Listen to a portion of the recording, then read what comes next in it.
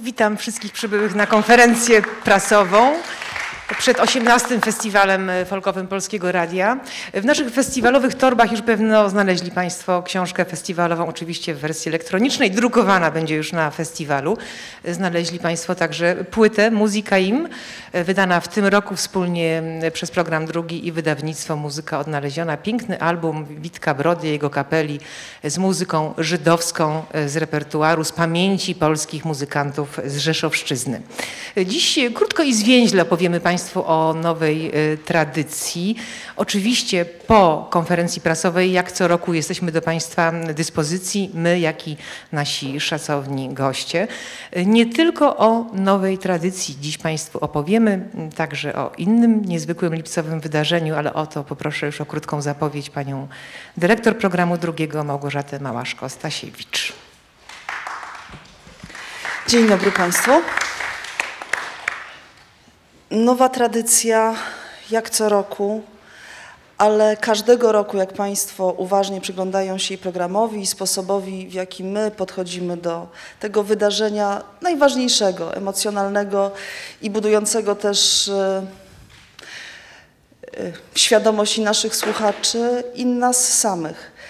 Jest rozszerzana o elementy, które uważam, że budują też naszą wrażliwość i odnoszą się do tego, co jest najbardziej wartościowe.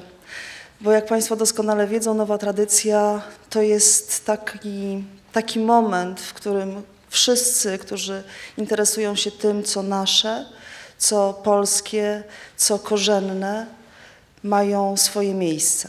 I ci, którzy rekonstruują, i ci, którzy przekształcają, i to w różnych na, na różne sposoby, i ci, tak jak obecny tutaj z nami Darek Błaszczyk, którzy włączają ku mojemu zachwyt, zachwytowi tę część naszej wrażliwości, która wychodzi z teatru.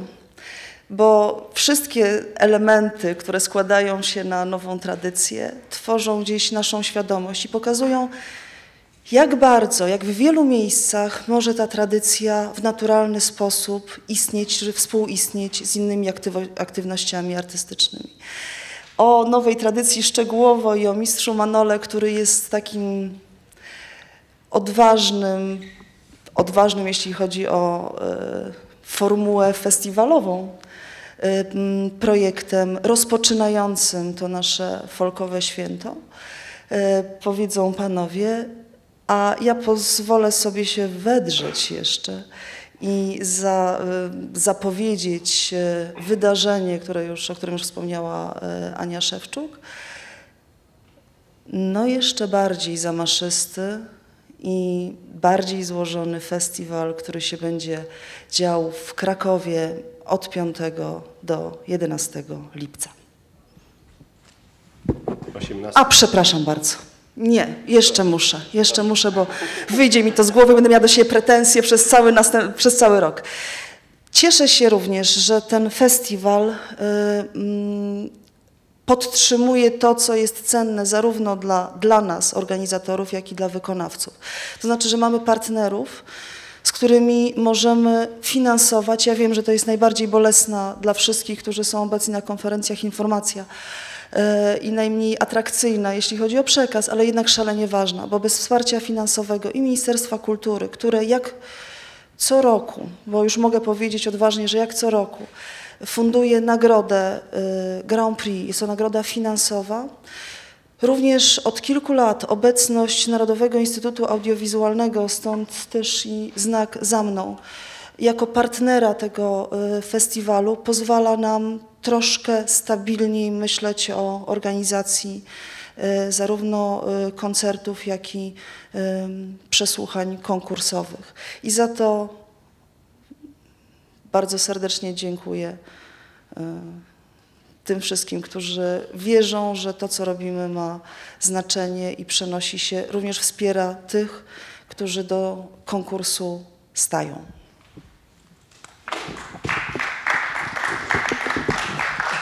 Festiwal Nowa Tradycja to bardzo wiele różnych nagród. E, o niektórych e, informacje znajdą Państwo już w tych materiałach prasowych dołączonych, e, które Państwo otrzymali przy wejściu do naszego studia. Ja tylko przypomnę, od kilku lat towarzyszy festiwalowi nowa tradycja Nagroda Fonogram Źródeł dla najlepszych, najciekawszych płyt z muzyką tradycyjną. Z roku na rok obserwujemy coraz większą ilość y, ciekawych, bardzo wartościowych y, wydawnictw, które ukazują się na naszym rynku. I przypomnę laureatów tegorocznych nagrody Fonogram Źródeł. E, nagrodę specjalną otrzymał album Gajdosze, wydany przez Macieja i Katarzynę Szymonowiczów i Fundację Klamra. To jest e, takie wzorcowe wydawnictwo. Życzylibyśmy sobie takich jak najwięcej, opisujące właśnie e, zjawisko, tradycję i współczesność beskidzkich gajdoszy. Pierwsze nagrody otrzymały albumy Marian Bujak-Skrzydłowca Portret Skrzypka, wydany przez wydawnictwo Incrudo i album Aldony Jadwigi Plucińskiej Polskie zwyczaje rodzinne, wydany przez wydawnictwo Księży Młyn. To jest bardzo potrzebna również książka, przybliżająca nie tylko tradycje związane z obyczajowością rodzinną, ale także współczesne oblicze tej obyczajowości.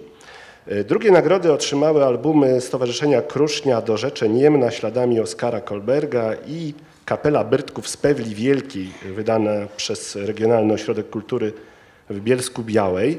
To też pokazuje, jak bardzo y, różne środowiska, instytucje zajmują się wydawaniem płyt z muzyką tradycyjną, bo są to zarówno instytucje kultury, jak i y, tak zwane NGOs, stowarzyszenia, grupy pasjonatów realizujące swoje pasje.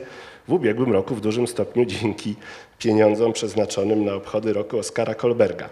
No i jeszcze warto dodać nasz chyba stały doroczny laureat, czyli Instytut Sztuki Polskiej Akademii Nauk, E, który w ubiegłym roku wydał album Gdyby Kolberg miał fonograf, e, ukazujący taką próbę konfrontacji dziedzictwa kolbergowskiego e, z dokumentacją fonograficzną. Informacje o fonogramie źródeł, tak jak mówiłem, znajdą Państwo już w materiałach prasowych i na naszej stronie internetowej, natomiast teraz mam przyjemność ogłosić pewną nowość, czyli laureatów tegorocznej Nagrody Muzyka Źródeł. Przyznajemy ją Y, no nie tylko zasłużonym artystom, ale także przyznajmy naszym ulubionym, takim, którzy są bardzo związani z polskim radiem. Y, to są osoby, które swoją wiedzę, swoje doświadczenie, swoje umiejętności, swoją wrażliwość związaną z muzyką tradycyjną przekazują młodym pokoleniom, ale także przekazują słuchaczom y, polskiego radia. I w tym roku nagrodziliśmy nagrodą Muzyka Źródeł panią Marię Bienias, doskonale chyba wszystkim e, słuchaczom dwójki znaną. Nawet przed chwilą tutaj na e, naszym filmiku występowała, bo była w ubiegłym roku e, na koncercie Muzyka Źródeł poświęconym muzyce Mazowsza. Pani Maria Bienias także dzieli się swoją wiedzą z, przede wszystkim z uczennicami uczącymi się śpiewu, ale przekazuje ją w niezwykły, barwny sposób słuchaczom radia. No i drugi laureat, y, dla odmiany instrumentalista, Tadeusz Jedynak, y, żyjąca legenda, y, jeden chyba już z ostatnich żyjących, wspaniałych mistrzów muzyki radomskiej, także kształcący olbrzymie rzesze młodych skrzypków. I nasi laureaci pojawią się 15 maja, czyli w piątek festiwalowy, aby od nas otrzymać te nagrody. No a zgodnie z chronologią nasz festiwal rozpoczyna spektakl, o którym pani dyrektor już wspominała, Mistrz Manole, znany doskonale na pewno z anteny. Teraz w wersji scenicznej Darek Błaszczyk, twórca tego spektaklu jest z nami, więc poproszę o kilka słów. Dzień dobry Państwu. Co ja mogę powiedzieć o Mistrzu Manole? Po, w pierwotnej wersji Mistrz Manole był zrealizowany przeze mnie razem z Jackiem Hałasem dla Teatru Polskiego Radia jako słuchowisko. Troszkę się podobał i postanowiliśmy zrobić e, z niego coś w rodzaju spektaklu. I ten spektakl, e, tak w trzech zdaniach tylko powiem, że jest to właściwie e, taka forma śpiewogry archaicznej, w której występuje, można tak powiedzieć, Wunder Team polskiej muzyki korzennej, czyli oprócz Jacka Hałasa tam jest cała plejada muzyków e, znakomitych, jak wymienię tylko na szybko, Agata Harc, e, Robert Wasilewski, Wolfgang Niklaus, Ania Broda, Basia Wilińska, Maciej Filipczuk, Bart Pałyga, chyba wszystkich wymieniłem. I e, postanowiliśmy zrobić coś takiego, co jest e, czymś pomiędzy spektaklem, e, koncertem i performancem. Spektakl ma formę jakby takiego performance'u, podczas którego powstaje coś w rodzaju instalacji jakby na oczach widzów, do którego narracją jest, narracją jest jakby śpiew, śpiew naszych muzyków. No i o tyle jest to ciekawe, że no, sama legenda e, jest taką najsłynniejszą legendą rumuńską poświęconą e, mitowi ofiary założycielskiej i muzyka jest pewnego rodzaju też podróżą, czyli to jest podróż po miejscach, gdzie, e, gdzie ten mit występuje, czyli od, e, przez, od Albanii przez Serbię, e, Bułgarię, Rumunię do Wołoszczyzny.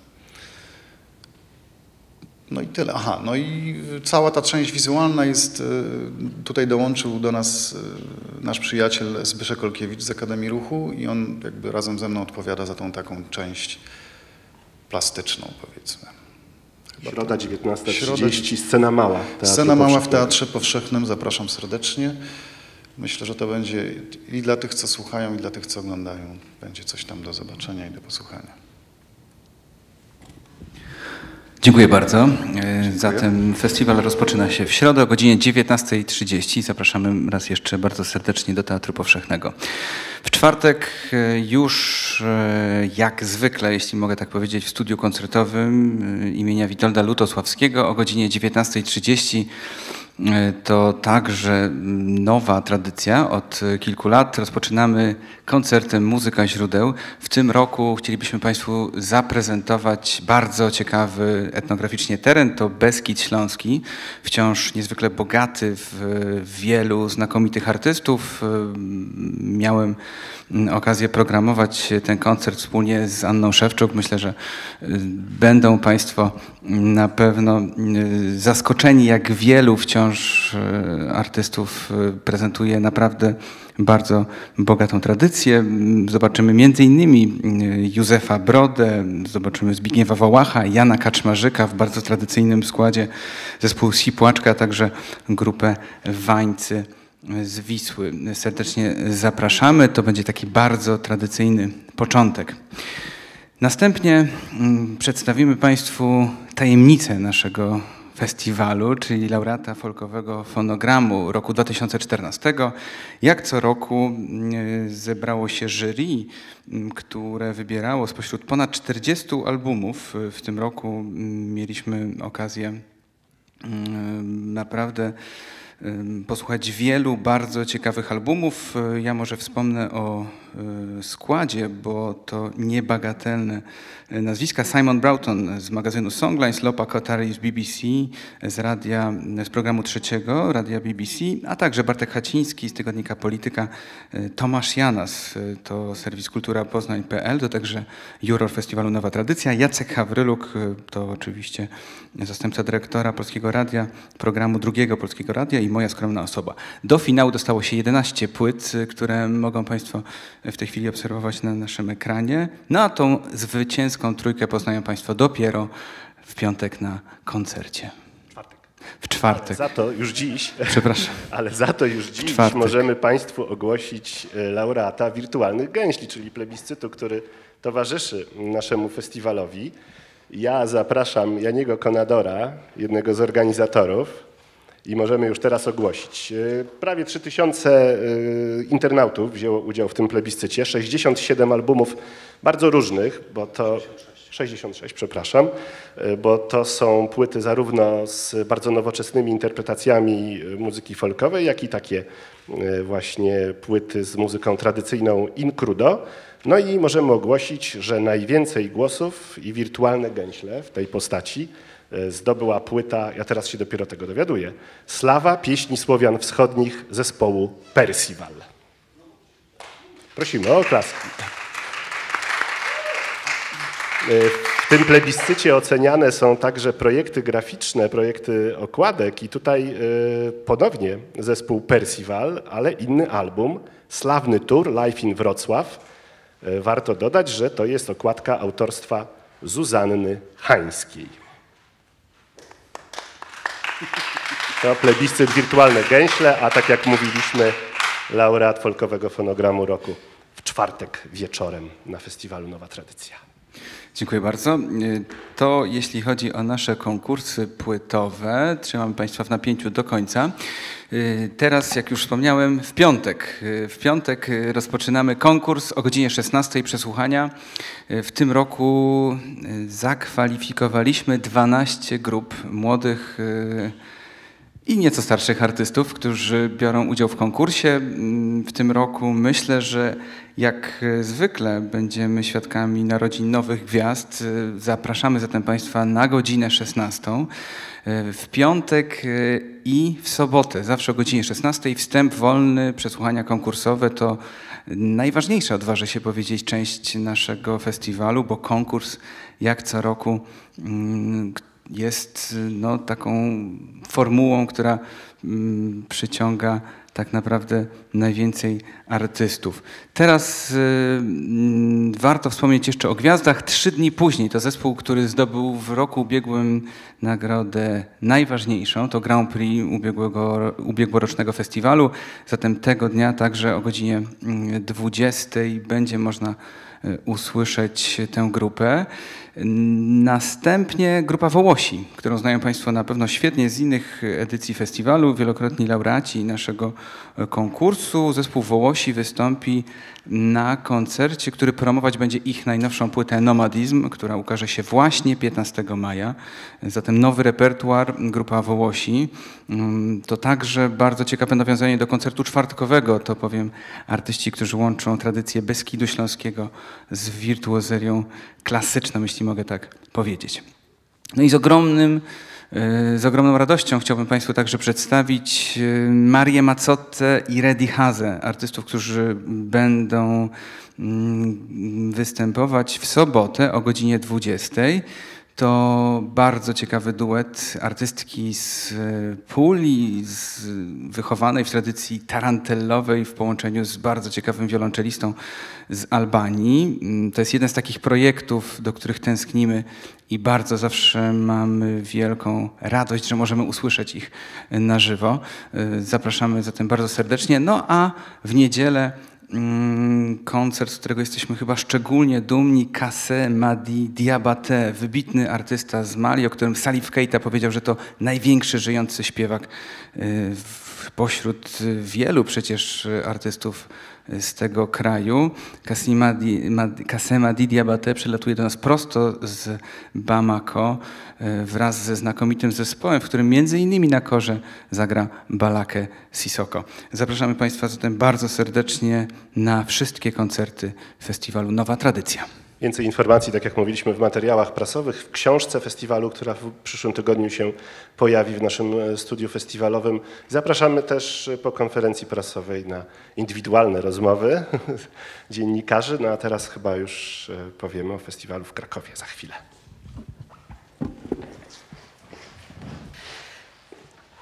Uprzedziłam Państwa, że się wedrę.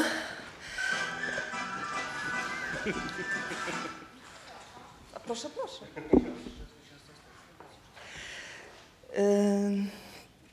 To nie jest przypadek, że spotykamy się dzisiaj i mówimy o dwóch ważnych wydarzeniach: o nowej tradycji i o festiwalu, który zapowiedziałam tylko terminami, zarysowałam, ale żadnych szczegółów Państwo nie otrzymali. Otóż jestem niezwykle szczęśliwa, dumna, y, że udało się po prawie trzech latach dojść do tego momentu, w którym możemy powiedzieć, że jeden z ważniejszych festiwali, który znają Państwo z opowieści zwykle e, Kuby Borysiaka, e, folkowych festiwali Euroradia, że nie opowiadamy o tym, co się dzieje poza Polską, tylko zapraszamy naszych przyjaciół z radiofonii europejskich. Zapraszamy wraz z reprezentacją artystyczną do Polski i do Krakowa. A to, że spotkamy się 5 lipca w Krakowie, ma swoją historię i zapraszam naszych gości. Zapraszamy. Robert Piaskowski, dyrektor krakowskiego biura festiwalowego i znany Państwu na pewno doskonale Janek Sławiński, Nie tylko muzyk, ale również szef rozstajów. Panowie siadają. Teraz jest taka nowa tradycja. Ja stoję, panowie siedzą. Zaraz y, udostępnię mikrofony i będą państwo Pani opowiadać. dyrektor, nie wypada. Będziemy stać tak długo, dopóki pani stoi również. I to jest szantaż. Y, Szanowni Państwo, udało się rzeczywiście z inicjatywy i z tego y, no, dużego y, takiego zaparcia Kuby, żeby jednak zdecydować się na pewien wysiłek, nie tylko finansowy, ale również organizacyjny, również promocyjny, również gdzieś przełamujący obawy, czy na pewno mm, powinniśmy mierzyć się, zwłaszcza, że wiedzą Państwo doskonale, że sytuacja mediów publicznych jest jaka jest, ale być może też jest taka nowa tradycja, żeby co 10 lat organizować tego rodzaju wydarzenia, bo pamiętają Państwo i Zakopane i Gdańsk, żeby spotkać się w Krakowie. E, Powiedziałam, że prawie trzy lata temu zaczęliśmy pierwsze rozmowy e, z krakowskim biurem festiwalowym z dyrektorem Piaskowskim i z panią dyrektor Izą Helbin, y, żeby przymierzyć się i żeby no, partnerstwo zaistniało. Jak Państwo doskonale wiedzą, również z naszej anteny dotyczy ono nie tylko muzyki, do tej pory dotyczyło nie tylko muzyki dawnej, muzyki alternatywnej czy literatury. Wchodzimy w następny obszar, jest to muzyka folkowa wspólnie a o tym, jak to się stało, że się spotykamy w tym gronie, to już powiedzą Państwo panowie. Y, Chcę jeszcze tylko powiedzieć o jednej rzeczy, że nie jest y, dziełem przypadku, że to dzisiaj mówimy o tych dwóch wydarzeniach, ponieważ jak Państwo wiedzą doskonale naszym obowiązkiem, powinnością, ale i honorem jest dbanie o to, żeby muzycy młodzi, którzy zaczynają, którym pomagamy mm, stawiać te kroki, mierzyć się z odbiorcami, z publicznością w naszym studiu, otaczani są troską. I ta troska również będzie miała swój wyraz w Krakowie. Y, Laureat, z oczywistych powodów nie mogę go poznać, będzie miał, y, będzie miał koncert również na tym festiwalu. Zwycięstwa, zwycięstwa nowej tradycji. Tak. Dziękuję, dziękuję mm, bardzo serdecznie pani dyrektor. Teraz y, możemy usiąść i zapraszam Państwa do obejrzenia krótkiego filmu, który mm, myślę wprowadzi nas nieco w klimat krakowskich festiwali.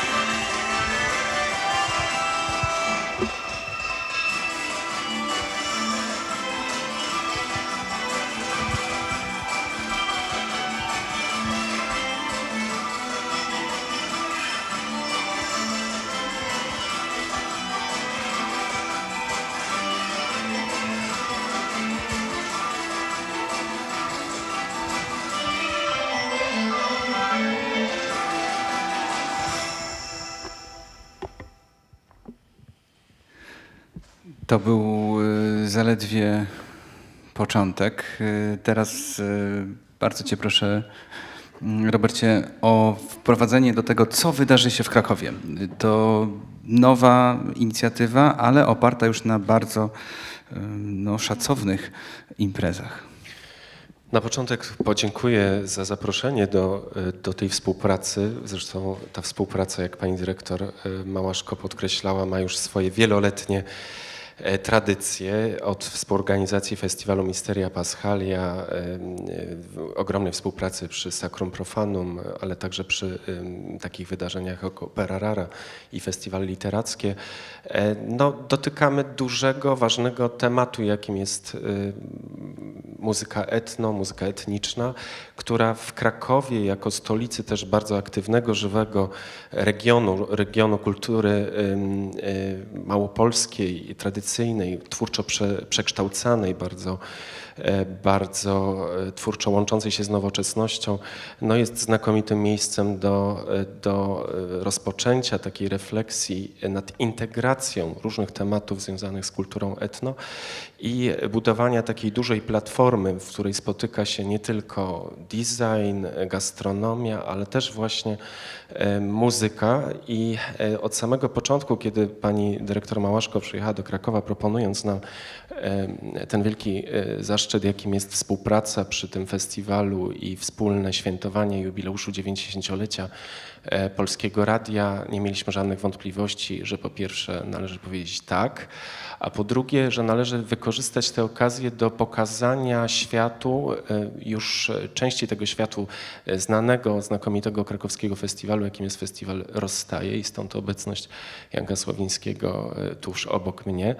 Festiwalu, który był jedną z czołowych marek festiwalu y, Kraków 2000, kiedy Kraków piastował zaszczytne miano Europejskiej Stolicy Kultury roku 2000 i ten y, festiwal od tamtej pory trwa, bardzo ściśle wyrażając to, co jest właściwe Krakowowi jako takiej trochę stolicy Europy Środka, w której przenikają się różne nurty, różne tradycje, różne prądy i e, rozstaje zawsze e, właśnie te, te tradycje doskonale wyrażały.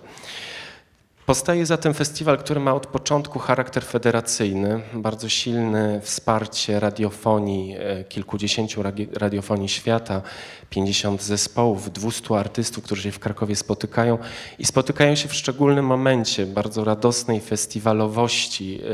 E, lipiec w Krakowie to miesiąc e, bardzo szczególny. Jednocześnie odbywa się Międzynarodowy Festiwal Teatrów Ulicznych. Kończy się tuż przed naszym festiwalem Festiwal Kultury Żydowskiej jednocześnie festiwal jazzowy w, w Piwnicy pod Baranami, więc ta atmosfera święta e, jest e, takim dodatkowym bonusem dla, dla wszystkich, którzy przyjadą odkrywać tradycje naszego regionu, ale też to, co w muzyce etnicznej mamy do, najlepszego do zaprezentowania, a z drugiej strony spotkamy się z tradycjami muzycznymi wielu różnych regionów świata, właściwie z muzykami z czterech kontynentów. Bardzo dziękuję za to zaproszenie. Zapraszam też Państwa do Krakowa i e, jestem przekonany, że to będzie niepowtarzalna przygoda. Mamy nadzieję, że, że zainspiruje nas do może powtarzalności tych, e, tych imprez. Chciałbym też e, podkreślić, że miasto Kraków i mm, Krakowskie Biuro Festiwalowe we wspólnym liście podpisanym przez prezesa Andrzeja Siedzieniewskiego i prezydenta Jacka Majchrowskiego zadeklarowały finansowanie, współfinansowanie tego festiwalu ze środków Gminy Miejskiej Kraków, a także poprzez festiwal Rozstaje, który jest e, również dofinansowany przez e, miasto Kraków i to promesą trzyletnią, z tego co, co mi wiadomo. Dziękuję bardzo. My także dziękujemy Krakowowi e, za to, że będziemy mogli gościć podczas tego wyjątkowego tygodnia. Jak już Państwo, jak już Pani Dyrektor wspomniała, po raz trzeci Festiwal Europejskiej Unii Nadawców, Festiwal Euroradia, Festiwal Folkowy odbędzie się w Polsce. Tym razem spotykamy się razem fest z festiwalem rozstaje. Dlatego teraz bardzo proszę Janka Słowińskiego o kilka słów o tym wydarzeniu. Bardzo serdecznie dziękuję. To dla nas zaszczyt ogromny, e, wielokrotny. Po pierwsze, sytuacja jakoś zapętla się. Jak startowaliśmy z festiwalem Rozstaje lat temu 17, pierwszym trzem edycjom po pierwsze towarzyszyło w ścisłej, we ścisłej współpracy Polskie Radio, za co bardzo serdecznie dziękuję, za to zaufanie. Pierwsze trzy edycje e, naszego festiwalu, które były w formie prezentacji muzyki małopolskiej i muzyki Karpat, były jakby dodatkowo jeszcze mm, opatrzone taką formą konkursową. E, i ze wsparciem właśnie pani redaktor Marii Baliszewskiej, która była przewodniczącą tej komisji i ze wsparciem Polskiego Radia udało nam się naprawdę zainicjować silnym, e, silnym sygnałem i w silnym wymiarze nowy projekt w Krakowie.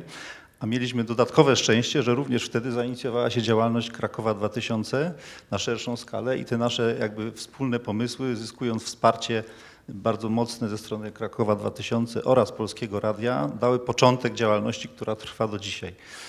Jestem szczęśliwy, że po wielu latach rozmaitych lepszych i gorszych pod względem budżetowym, po pierwsze, że udało nam się przetrwać, a po drugie, że zataczając to ogromne koło, koło w obrębie którego Y, nakreśliliśmy obecność ponad 200 zespołów z całego świata i że dochodzimy do punktu y, wyjścia, ale mam wrażenie, Dodajmy że nieprzypadkowych zespołów. Nieprzypadkowe są to punkty zejścia. Ja zawsze mówię, że na rozstajach drogi się schodzą y, bardziej niż rozchodzą i właśnie doświadczamy tego zjawiska. Bardzo serdecznie dziękuję za mm, zaproszenie do tej współpracy, zarówno pani dyrektor Małgorzacie Małaszko, jak i e, panu dyrektorowi Robertowi Piaskowskiemu. Są dwie wielkie instytucje, które nas bardzo wspierają i to od lat. E, my staramy się jako Stowarzyszenie Rozstaje, jako Festiwal Rozstaje nie zawieść tego zaufania. Zdajemy sobie sprawę, jaka to jest odpowiedzialność i zdajemy sobie, sobie sprawę, jaki to jest potencjał i staramy się ten potencjał wyzwalać i pozwalać na spotkania świetnych muzyków z całego świata i pozwalać na możliwość uczestniczenia naprawdę gromadnej międzynarodowej publiczności, by uczestniczyła w tym święcie etno, jakim są rozstaje od lat w Krakowie. E, można by opowiadać wiele, e, bo perspektywa wstecz jest długa. Mam nadzieję, że na e, wprost jeszcze dłuższa. Powiem tyle. No program szczegółowy będziemy ogłaszać na stronach internetowych. Właściwie startujemy zaraz i sukcesywnie spływać będą materiały. Mam nadzieję zachęcające do przyjazdu do Krakowa. Co więcej, temat może tegorocznej edycji rozstajów stricte to Sounds of Europe, Sounds of the Towns, ponieważ w tej fuzji z Europejską Unią Radiową i festiwalem Eurofolk no po prostu powstaje w Krakowie nowa mapa muzycznej Europy. Mamy reprezentację z kilkudziesięciu krajów Europy, e, jakby zapewnione przez współudział e, festiwalu e, Eurofolk, przepraszam, Euroradio Folk.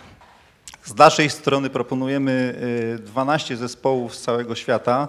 Dodam, że 10 z tych zespołów są to zespoły, które występują w Polsce po raz pierwszy. W związku z tym mamy 10 międzynarodowych premier na scenie etno, jeśli chodzi o zespoły zagraniczne.